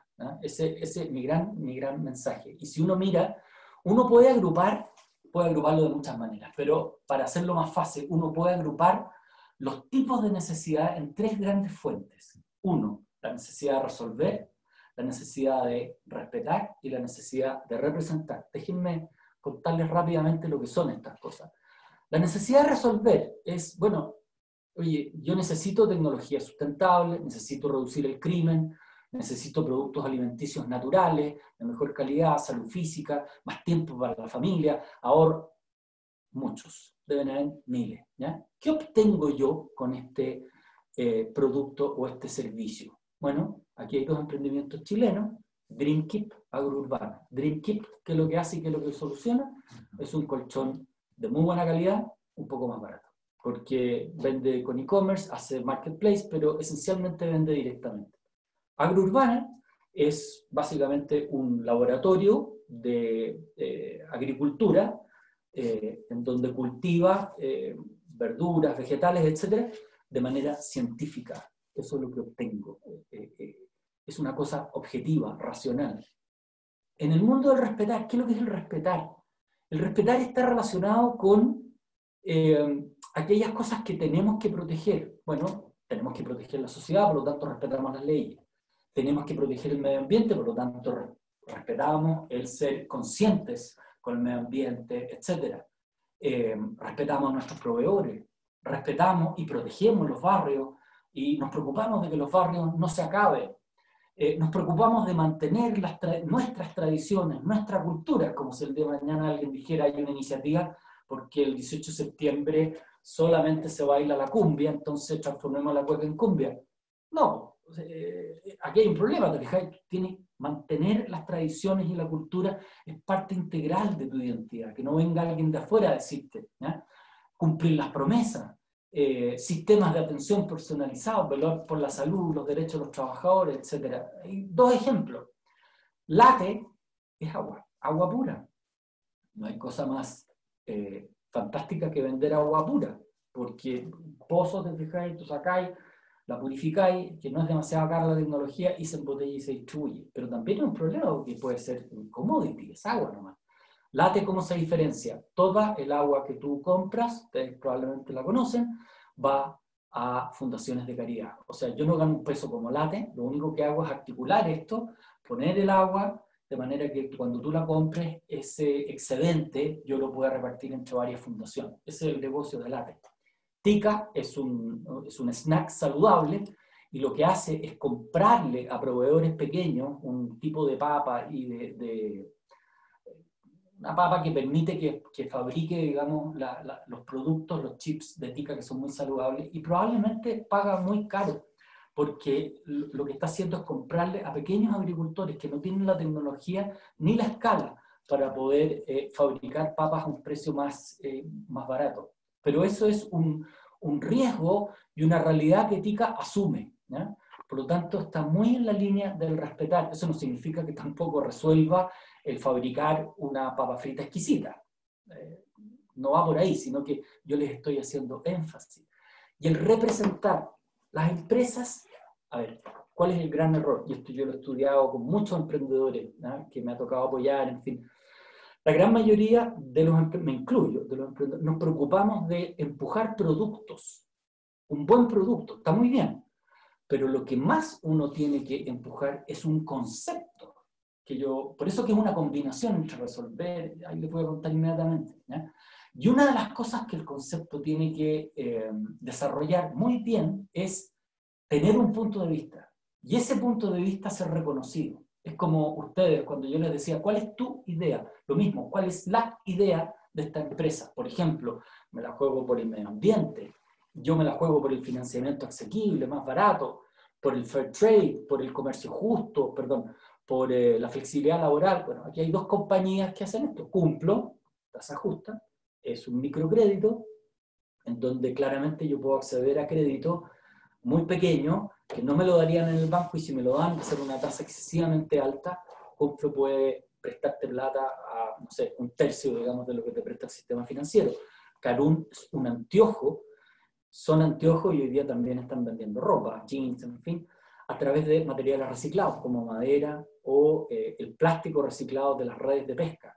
Bueno, eh, no solamente vende anteojos, y un anteojo filete, entre paréntesis, yo tengo unos que son muy buenos, están fabricados, están diseñados en Chile, fabricados en Italia y tienen eh, cristales de la mejor calidad que son alemanes. Por lo tanto, te vas a encontrar con un carún caro, no, son bien carún, no son baratos, de 120, de 130 lucas, pero yo los uso no solamente porque sean buenos, sino porque sé lo que hay detrás de carún. Entonces, cuando yo armo esta propuesta de valor integral, siempre tengo que pensar por dónde más me la voy, por cuál va a ser el punto pivote por el cual yo me la voy a jugar. DreamKeep se la juega por el resolver, porque está vendiendo calidad-precio. No significa que no ocupe el respetar o representar, que tenga un cuento ahí. Pero esencialmente hoy día está apuntando a eso. Y si el día de mañana tiene que echarle mano a estas otras dos eh, rueditas, lo va a hacer, porque esto te da múltiples posibilidades de diferenciación, en definitiva. Eh, TICA, aquí es lo que yo les decía, ellos están jugados por respetar, es decir, por el trabajo de los pequeños agricultores. TICA hoy día acaba de sacar una campaña de jugársela, ¿no es cierto?, por estos pequeños agricultores de Chiloé, eh, para que en el fondo no se queden sin su, sin su, fuente de trabajo, a quienes TICA les compra, yo les compro, pero ustedes comprenme las papas fritas, porque de lo contrario este ciclo nunca termina, o termina mal. ¿eh?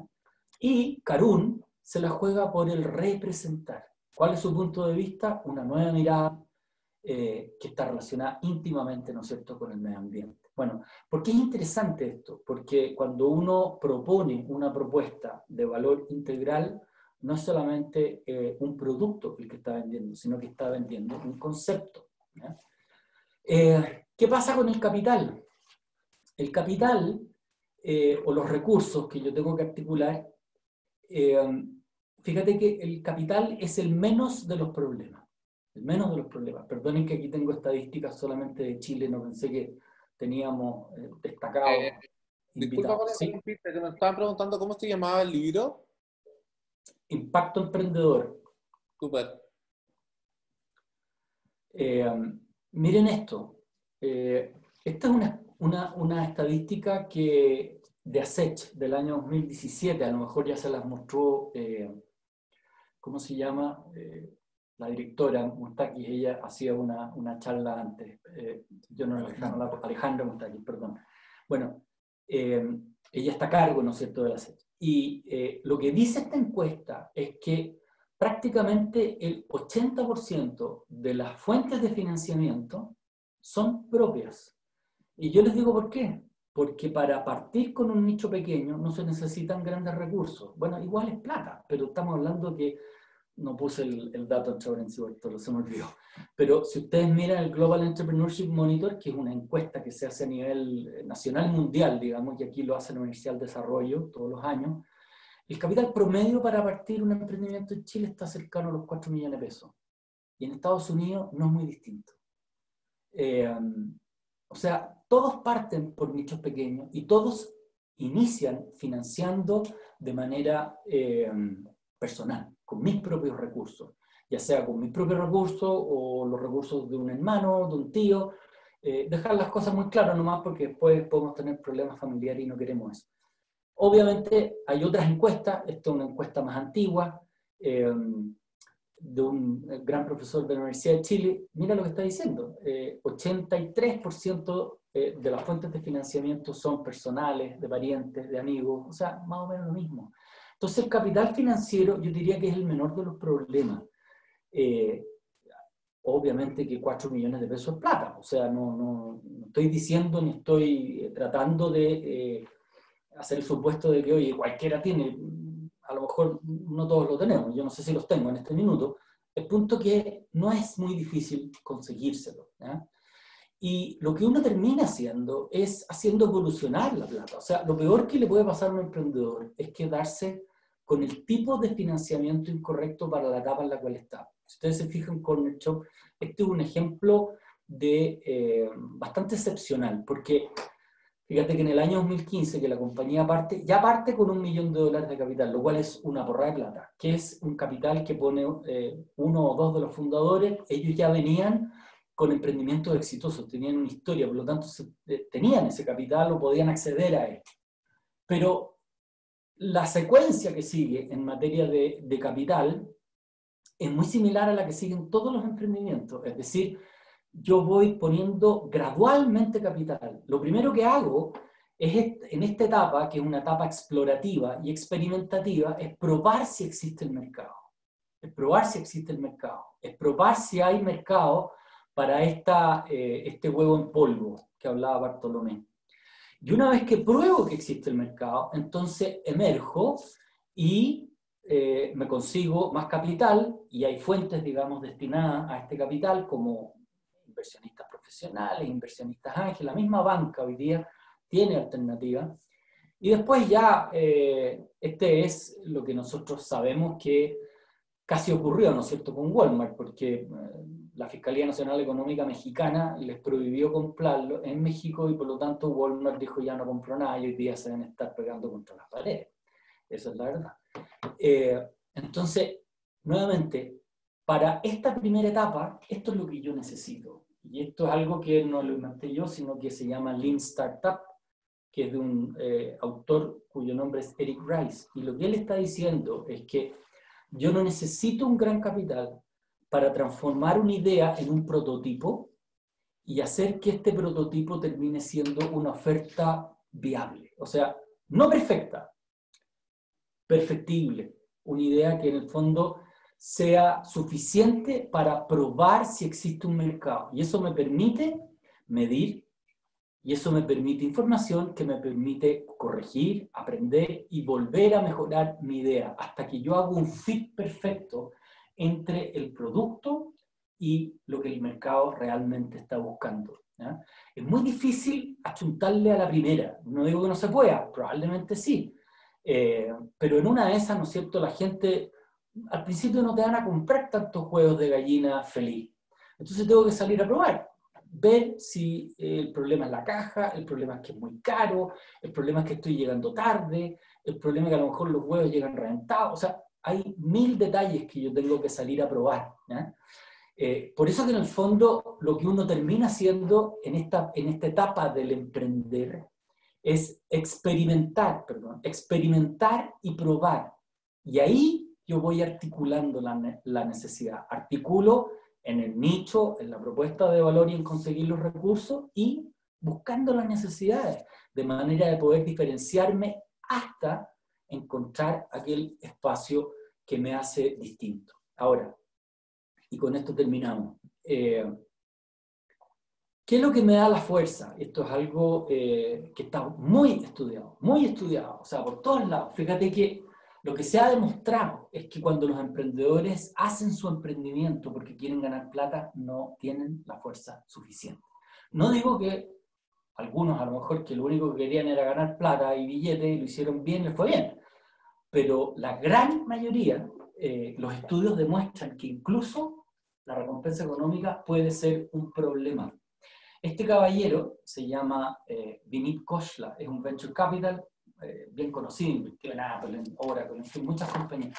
Mira lo que dice, lo voy a leer textual, dice, los emprendedores son mucho menos exitosos cuando intentan ganar dinero.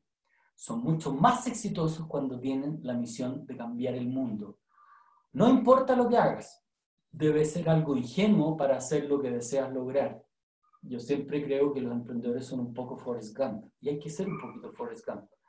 Cualquiera sea la propuesta de valor, tienes que tener una convicción casi religiosa de hacer que el mundo sea un lugar mejor y debes sentirte apasionado con esta contribución.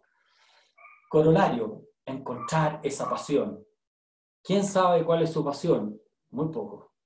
o sea, de 10, 8 no tienen idea. Yo no tengo idea cuál es mi gran pasión, no la conozco. Bueno, salgan a buscarla y la mejor manera de encontrarla es ir nuevamente probando aquello que funciona y aquello que no, invirtiendo poco capital, consiguiendo con poco capital mucha información. Eh, bueno, es el, libro que Bartolomé me insistió ponerlo, me da un poco de vergüenza, pero, pero, pero ese libro se puede comprar en, en eh, editoriales UC, se puede comprar en Amazon, se puede comprar en varios portales eh, e-commerce y también en librerías que son como las más conocidas en Chile. Eso es lo que teníamos para contar. Muchas gracias. Eh, muchas gracias por, por, la presentación. Yo, hasta yo he aprendido muchísimo. Eh, con, con, una presentación muy, eh, con mucho contenido y con muchas cosas, con ejemplos muy, muy interesantes. Así que ha sido un lujo eh, tenerlos aquí con, con nosotros y creo que con mis comentarios están representando un poco a lo que estamos leyendo en el chat. Así que muchas gracias por el nivel de los contenidos compartidos y eh, por, por, toda la presentación. Eh, vamos a hacer algunas preguntas. Eh, tengo dos preguntas seleccionadas para ustedes, pero le voy a permitir a la gente que quiera estar en vivo haciendo una pregunta, que puede hacerlo, pero con el compromiso de que las preguntas sean cortas, precisas y bien preparadas para que no nos extendamos es tanto. Así que me pueden avisar por chat quienes quieren y que están dispuestos a aprender eh, mm, a, aparecer en vivo para que hagamos esto más cercano. Eh, la primera pregunta que tengo, que está en las preguntas y respuestas, pero no sé por qué desapareció, tenía que ver con tu experiencia, Bartolomé, respecto a, a, a, emprender con Karin, que yo sé que el tema de emprender con amigos o emprender con la señora o, la estructura societaria de los emprendimientos a veces es un poco desafiante y un poco complicada. Entonces quería un poco saber eh, cómo ha sido la experiencia de socios entre ustedes o qué consejos les podemos dar a la gente eh, para, para, para completar un poco la estructura societaria. Eh, yo los voy a dejar un minuto porque se me acabó la pila del implante, pero por mientras pueden responder la pregunta. Ningún problema. Eh, bueno, esa ha sido una, más que una, una, pregunta, siempre nos han dicho que cómo se llevan como matrimonio en la oficina. Y la verdad es que cuando partimos no tocamos ese tema. En, el impulso de partir, en la creatividad, nunca dijimos, ¿y qué va a pasar con nosotros como matrimonio? Y la verdad es que eh, después de que uno parte y pone todo el empuje, vienen los ajustes necesarios, ya eh, no libres, no exentos de problemas, pero en la medida que uno va asumiendo cada uno su rol, eh, va avanzando. No, no, no, hemos estado exentos de problemas, tampoco digamos que ha sido un problema. Todo lo contrario, para mí es un orgullo trabajar, estar con la carita todo el día. ¿ah? Eh, pero efectivamente nos fuimos ajustando y paramos, pasamos por un periodo más álgido eh, en el cual fuimos naturalmente ajustando los roles y, y, hoy día yo creo que estamos bastante más ajustados en lo, en lo que estamos haciendo. Así que Esa es mi visión, le voy a dejar que la Karin también cuente lo de él. ¿ah? Obviamente eh, no es fácil, eh, no todo es color de rosa, pero sumando y restando, yo creo que la clave es justamente como conocer la fortaleza y las cualidades. Yo creo que cuando uno emprende, tiene que asociarse con gente que tiene cualidades que uno no tiene. Y en el caso de nosotros, eh, yo creo que Bartolomé es muy emprendedor, es muy comercial, eh, y yo soy más del otro lado, yo soy más operacional, más ordenada, más, más meticulosa, o sea, como se dice, con procedimiento. Entonces, es como una buena combinación. Cuando uno parte un negocio, yo creo que uno estaba leyendo yo las preguntas, eh, las ideas están y uno tiene que saber cómo juntarse con las personas adecuadas, digamos, que lo complementen. Eso. Super, no sé si quieren comentar algo más, Jorge, ¿no? Respecto a los socios, ¿no? Yo creo que ellos dieron el clavo, efectivamente, eh, no es fácil emprender con, ni con amigos, ni con familiares, con la señora tampoco. Sin embargo, eh, lo que ellos muestran es que en la medida que se complementen los roles y entiendan muy bien cuáles son las fortalezas y las debilidades, esto termina funcionando súper bien. Y con cariño, si hay amor de por medio, estas cosas tienden a funcionar bien. O sea, está bastante demostrado y estudiado, efectivamente. Super, tenemos otra pregunta, que es la pregunta que tiene más eh, like, y en el fondo son dos preguntas eh, de Michelle Martin. Si emprendo, fallo, quiebro y decido volver a emplearme, ¿cómo enfrento esto en la entrevista con un headhunter? Y su segunda pregunta es, si tengo una idea, pero no corresponde a mis conocimientos o a mi industria, ¿es recomendable emprender? Respecto a la primera pregunta, yo creo que es súper importante lo que preguntaste de, hay que mencionar eh, el emprendimiento. El emprendimiento es muy valioso. Yo creo que el fracaso es una de las cosas que uno más, valora o debiera valorar. ¿Por qué? Porque te enseña, digamos, a levantarte de nuevo, a, saber qué cosas te equivocaste, digamos, y, a ti te hace mejor persona. O sea, finalmente cuando uno sale a buscar trabajo, porque tienes que volver a buscar trabajo, es muy importante mencionar qué cosas aprendiste de tu emprendimiento. Claramente va a sumar, o sea, nunca va a restar. Vas a ser una mejor persona y vas a haber crecido. Yo quiero complementar lo que dice Karin, diciendo un poco enseñanza para nosotros y para las generaciones que vienen. Es súper necesario aprender a equivocarse. ¿ah? Hoy día vivimos en una sociedad que queremos todos transformar y parte de la transformación es poder dejar que los niños se equivoquen, dejar que los jóvenes se equivoquen. No estoy hablando de que se equivoquen todo el día, pero esa es una práctica. Yo cuando hablamos de emprendimiento y este emprendimiento ha avanzado bien, yo emprendí un par de veces antes y a lo mejor en cosas de universidad, a mitad de carrera, en mi primer tiempo laboral. O sea, uno va soltando la mano y va probando. ¿ah? Y con respecto a la, a, la segunda pregunta, eh, tiene que ver con, se me fue la segunda pregunta, me, me sucede normalmente mi memoria es frágil a esta altura. Que si tengo una idea, pero no corresponde. Ah, la idea, no, ya. que si no, no, conozco nada del negocio. La idea, cuando la idea, uno conozco el negocio, yo creo que siempre uno tiene que buscar un socio que tenga la otra pata. En esto es súper simple decirlo, es difícil hacerlo, pero incluso los grandes empresarios, y voy a nombrar, aunque no sé si me estaba viendo eh, los Luxit, bueno, ellos tenían cerveza CSU y se asociaron con los que sabían más en el mundo. ¿ah? que era Heineken. Entonces hay que buscar el que tiene la otra pata. En el caso nuestro, eh, nos asociamos con la Karin y yo tenía una, fuerza emprendedora, yo tenía una fuerza, de, en fondo, de, armar un negocio y la Karin en el minuto que partimos era la que sabía más de la parte operacional de headhunting. Y después involucramos el tema de outplacement. Entonces se fueron, nos fuimos asociando, entre comillas, con conceptos y con temas que cada uno sabía hacer. ¿Yo puedo agregar algo? Eh, es, recomendable efectivamente conocer la industria, conocer quiénes son los actores, dónde están los proveedores, dónde están los clientes fundamentales, eh, los señores, ¿no es cierto?, que saben hacer eh, este tipo de trabajo, pero tampoco existe un, un, riesgo excesivo de fracaso como el que tendría cualquiera. O sea, si uno piensa en los grandes emprendimientos que están como surgiendo y que no hay experiencia previa, nadie sabía cómo arrendar autos por minuto, nadie sabía cómo hacer un buscador que fuera tan exitoso como Google. Bill Gates no tenía idea de lo que era un software eh, operativo, ¿te fijáis? Eh, yo creo que aquí, por eso que yo les hacía la pregunta al principio, es ¿qué es lo que necesito aprender? O sea, si tú no entiendes nada, pero te fascina esta industria, date un tiempo, date un tiempo, tres meses. Con tres meses te puedes entender bastante bien, eh, pero no lo entiendas desde el computador. Anda a hablar con gente, habla, conversa con proveedores, prueba los supuestos, prueba los supuestos y encuentra los supuestos que te van a permitir proyectar el negocio. Porque si tú no sabes proyectar el negocio, ahí sí que tenés un problema. Es importante tener al menos una base de proyección, aunque nunca se cumplen las proyecciones, pero nuevamente, al menos el día de mañana, cuando tú tengas que hablar con un inversionista, demuestras que algo entiendes de esta, de esta industria.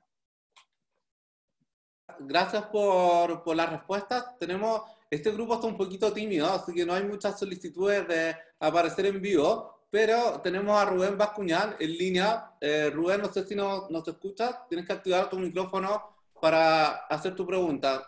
Te escuchamos, pero no te vemos, creo. Estimados, estimados, estimados, mucho gusto, mucho gusto. Tomás, ¿qué tal? ¿Qué tal equipo? Eh, bueno, primero que todo, eh, realmente agradecerles. a mí me llegó todo este tipo de seminarios interesantes que están haciendo por parte de mi padre yo soy emprendedor hace aproximadamente desde el, 2008, desde el 2018, perdón, hace dos años.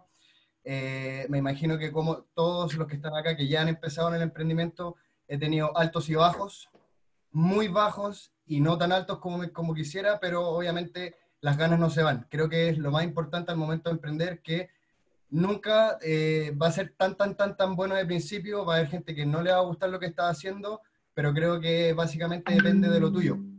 Ahora, eh, obviamente agradecerle a ustedes el tiempo, porque lo que más se valora cuando uno emprende es el tiempo.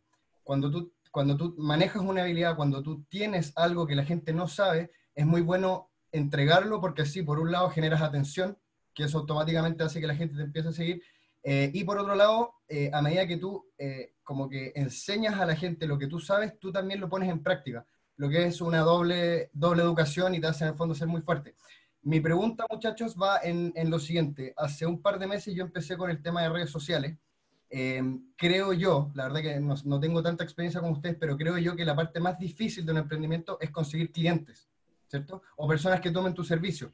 Em, para eso, eh, o sea, lo digo básicamente porque ideas siempre van a haber muchas, tú puedes tener un super equipo de trabajo que eh, en el fondo tienes que estar amarrándote de gente que sepa, como bien decían ustedes, yo me manejo mucho en esto, pero necesito una persona que me ayude en, el lado B o C de un emprendimiento. Eh, mi pregunta, muchachos, va directamente ligado a, qué tan fuerte o, qué piensan ustedes realmente del mundo de las redes sociales. Eh, en cada momento de crisis siempre aparecen miles de oportunidades. Que pocas personas pesquen las oportunidades es otra cosa, pero, pero por lo menos yo ahora en crisis veo veo eh, una oportunidad gigantesca en millones y millones de nichos. De las preguntas que he estado leyendo también, creo que hay demasiadas respuestas. Ahora, si tú no quieres buscar las respuestas, eh, es difícil que alguien, te las dé. Eh, creo que, en, el mundo de los emprendedores que, me ha tocado conocer, hay gente muy amable y gente que es súper egoísta al momento de dar información. Yo soy de la base de que si yo...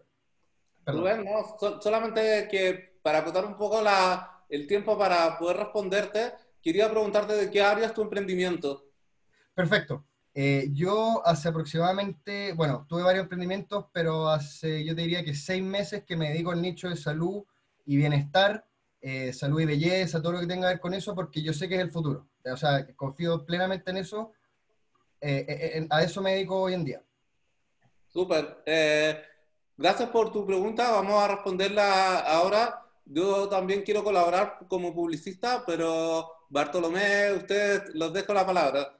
Rubén, no es necesario que te vayas para que podamos mirarte. No, yo creo que está ahí en el nicho correcto. Yo siento de que es un nicho que, que va a estallar eh, y que ya está estallando. Esta es una de las industrias que más crece eh, a nivel mundial eh, y en Estados Unidos. Entonces son justamente donde están los temas eh, hot que hoy día la gente está buscando. La pregunta es si es algo que, que, a ti te gusta y te apasiona y si es así, tanto mejor. Eh, más allá de utilizar las redes sociales, siento de que es importante que tú, como decía al principio, te transformes en alguien reconocido en este tema. Y por lo tanto empieza a publicar tu contenido, arma tu contenido, escribe un artículo y no tenéis para qué mandarlo a la tercera, porque no, probablemente no te lo van a publicar, pero a escribir en Medium, podéis escribir en LinkedIn, podéis, y empieza a dar a conocer y a lo mejor al principio nadie lo va a pescar mucho, pero va a llegar un minuto en que la gente te va a empezar a seguir y a lo mejor tampoco se necesita eh, escribir un artículo desde cero, voy a agregarle tres cositas a un artículo que salió publicado en España y así de a poco vais armando tu propio prestigio. Para mí ese es como el, el tema más, más relevante cuando uno está utilizando las redes y quiere ¿no cierto? empezar a, a generar seguidores. Gracias. ¿Quieren, ¿Ustedes quieren comentar algo más? Yo solamente tengo eh, dos comentarios. Eh, yo soy publicista, estudié marketing digital, así que creo que puedo ayudar un poquito con, con, con esta pregunta. Eh, dos cosas. Lo primero que coincido con Jorge, que la mejor manera de publicitarte, que no es publicidad en el fondo, es generar contenido. no es decir, oye, yo tengo una báscula de salud que cuesta 2.990, sino es tratar de entender por qué la báscula de salud es importante para tu entorno. Me refiero desde el punto de los contenidos. Eh, ¿Cuáles son las tendencias de la báscula de salud? Eh, ¿Cuáles son, no sé, eh, si a la gente le interesa el diseño, si le interesa el color, si le interesa las funcionalidades? Y tratar de compartir contenido para que de alguna forma la gente te sienta muy cercano a, y experto en teoría, no necesariamente ser un influencer, pero te sienta muy cercano con, con, con lo que estás diciendo. Y lo segundo es que yo soy muy a favor de las redes sociales, pero el tema de las redes sociales depende mucho del rubro. Por eso yo te pregunté de qué, de qué rubro es tu emprendimiento, porque las redes sociales nos sirven para todos. Por ejemplo, si tú estás en el mundo de la salud, estoy poniendo un ejemplo, no es que sea así. Quizás LinkedIn, que es una red profesional, pero es una red profesional donde, más, donde lo que más hay es administrativo, etcétera, etcétera. No necesariamente hay gente de salud LinkedIn no sea tu mejor opción, pero quizás eh, hay una red social, que no me acuerdo en este minuto el nombre, pero me la comentó un amigo porque ahí están buscando pega, eh, están ofreciendo pega eh, para todos lo que son los hospitales de COVID, etcétera, etcétera. Es como una especie de, de, de headhunter, pero especializado en salud, no me acuerdo el nombre. Quizás ahí te tenés que meter.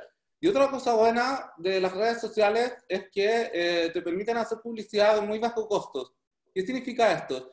Que con 10 mil pesos, eh, y no, tú no necesitas hoy día como emprendedor salir en Canal 13 y pagar una pauta publicitaria, necesitas llegar a las personas que están en tu entorno específico. Entonces hoy día, con 10 mil pesos a la semana en Instagram, en Facebook, en cualquier red social que tú elijas, puedes invertir micropagos, pero tus contenidos van a llegar específicamente a personas asociadas a temas de salud. Y es cosa de, cuando te metes a estos administradores de publicidad, puedes elegir conceptos, así como salud, enfermería, y te van a empezar a reducir, reducir, reducir el público. Y da lo mismo si son mil, pero a los mil que vas a llegar son, eh, son, los, son los más efectivos que puedes llegar.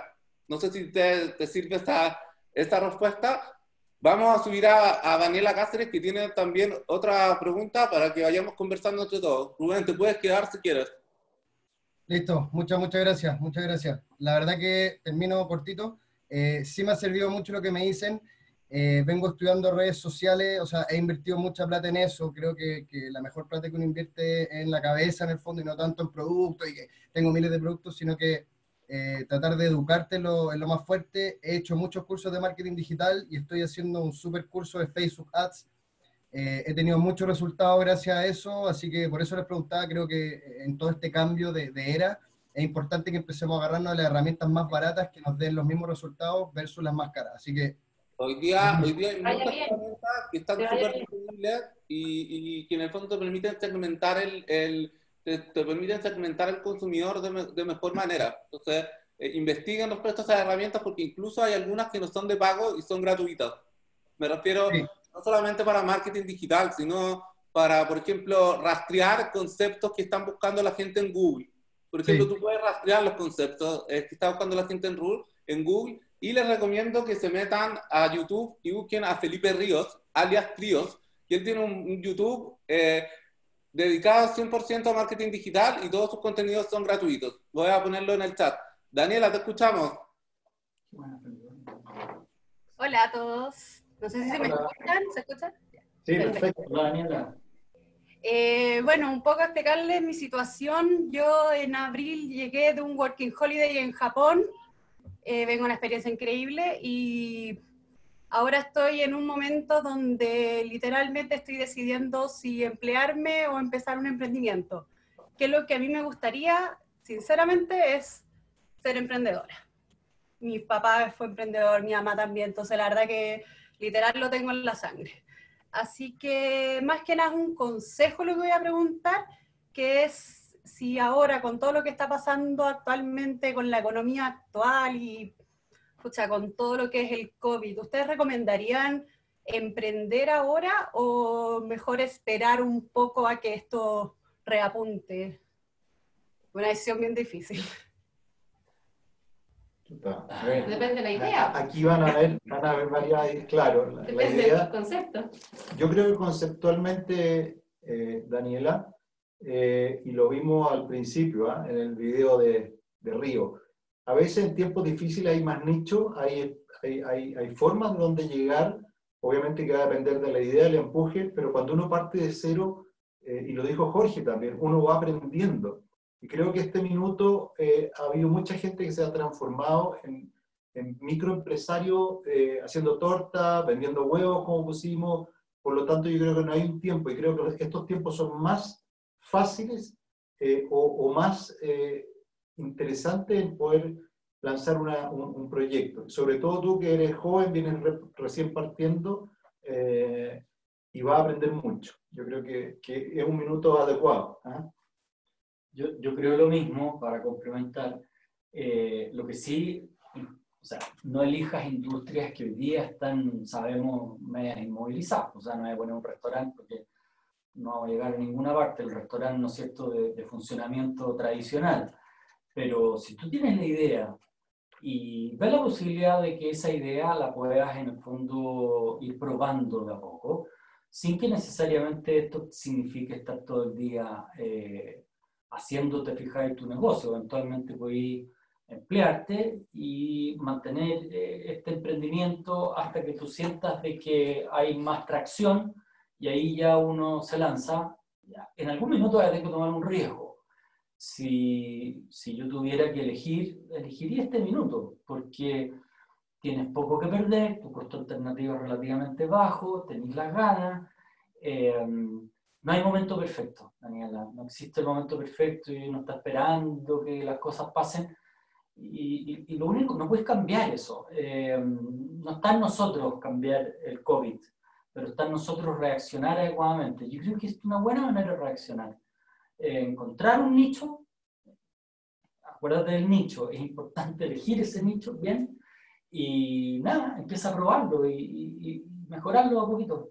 Yo creo que si tienes muchas ganas, eh, créete, cree en ti y busca eh, socios. Esa es mi sugerencia. Sí. Eh, gracias por las respuestas de todos. Eh, Rubén, Dani, gracias por eh, participar, por dar la cara por, por nuestro público. los vamos a quitar de pantalla porque tenemos lamentablemente que cerrar porque tenemos otra charla todavía a continuación. Pero antes de cerrar, quiero hacer una última pregunta del, del público eh, que es un poco contingente, pero sé que está respondido un poco con la última pregunta, pero hay varias gente en el chat preguntando sobre si es recomendable gastar el 10% de, de, la AFP en emprender. Eh, la respuesta es si efectivamente tenemos un plan de negocio para emprender, pero quiero dejarlo a ustedes para que comenten eh, esa pregunta. Yo tengo una opinión. Eh, yo creo que los más mayores como yo, no, no voy a hablar de, menos de Karin que tiene 16 años, eh, yo tengo, no sé, estoy cercano, bueno, me quedan no tanto, 8, 8 años para jubilar, definitivamente conviene sacar la plata, porque de aquí a 8 años esa plata no va a ser mucho más. Si tú estás ahí como en los 28 años, tenés harto que perder, porque esos 2 millones o lo que sea, en 30 años más se pueden transformar en 15 con con bastante facilidad. El ideal, si ustedes me preguntan, pero esta es mi opinión, es eh, si lo vaya a sacar, recicla el ahorro. Recicla el ahorro. Eh, yo no creo que sea bueno sacar la plata para desarrollar un proyecto, porque si tú la tienes efectivamente para un momento en donde no vas a poder hacer muchas cosas, sino que es para pensionarte, la idea es cuidar las lucas y nosotros tenemos que asumir que el emprendimiento no existe sin riesgo. Si no asumes riesgo, eh, ¿cuánto? Eso depende de cada uno también, pero en fondo no hay, no hay recompensa. Por lo tanto, vas a tomar un capital que está seguro y que lo puedes volver a invertir eh, de manera más o menos segura y con una rentabilidad cierta en algo que no es seguro, en algo que depende de muchos factores, que es difícil. Yo lo recomiendo ampliamente, pero no, sí, yo creo que en la cuenta 2, como decía Anthony, o en el APB.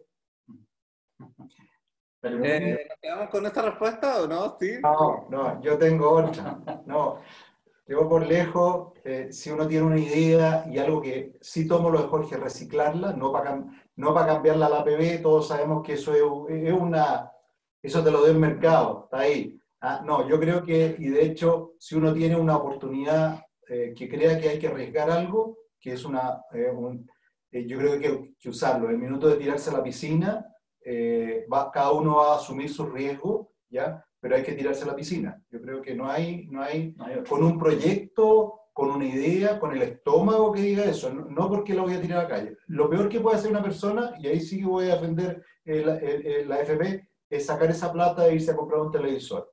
Eso yo creo que es destructivo, destruye valor, pero si la saca y compra tres bandejas de huevo, las envasa en un envase bonito y las vende como regalo, yo lo voy a aplaudir el primero en comprarle. Le compro dos cajas eh, veo que el que pone orden a los impulsos en esta casa Karin, eh, que, pone, que te baja un poquito porque con esta intensidad. Pero nada, agradecerles a los tres por la participación, por esta charla. Esta charla ha tenido de todo, eh, un carácter familiar, un carácter inspiracional con, con Río y también un, un fuerte carácter académico. Así que agradecerles a los tres por por participar en Juntos, por el cariño que sé que le pusieron a preparar esta, esta presentación. Y los dejo unos minutos porque tenemos que cerrar, por si quieren decirle algo a la gente para despedirse eh, y para que cerremos esta, esta sesión.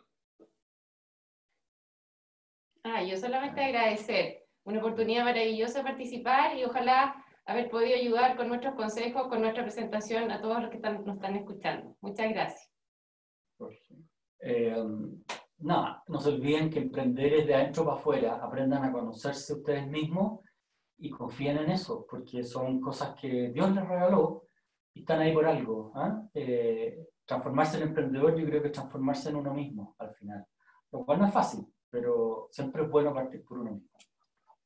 Sí, yo también agradecer especialmente a todo el equipo de Juntos, que una industria unida, que compite en el día a día, pero cuando uno compite en forma honesta, transparente, eh, es mucho más el apoyo. Y cuando es colaborativa, yo creo que eso tenemos que aprenderlo en Chile y en todo el mundo, colaboratividad es lo que viene. Si no nos empujamos entre todos, eh, cuesta mucho más. Así que agradecer a Juntos, agradecerle a Tomás, que se ha sacado los zapatos en este tema, y a todo el equipo de Juntos. ¿Mm? Bien, Tomás. Muchas, muchas gracias, yo feliz de estar articulando y conectando toda esta historia, porque además eh, hay, un, hay como una especie de sello de diversidad en cada una de las presentaciones que me está gustando mucho, que tiene que ver con, con distintas formas de mirar el mundo. Así que no se vayan de la sintonía, o sea, se pueden ir a tomar un café o algo, pero a las 5 volvemos con nuestra penúltima charla de un tema bastante complicado para algunos, que es el tema salarial,